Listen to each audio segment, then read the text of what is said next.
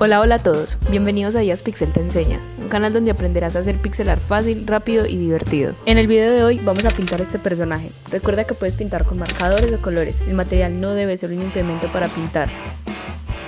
En el transcurso del video va a estar escrito cuántos cuadritos debes de pintar y va a estar apareciendo el color que vas a necesitar.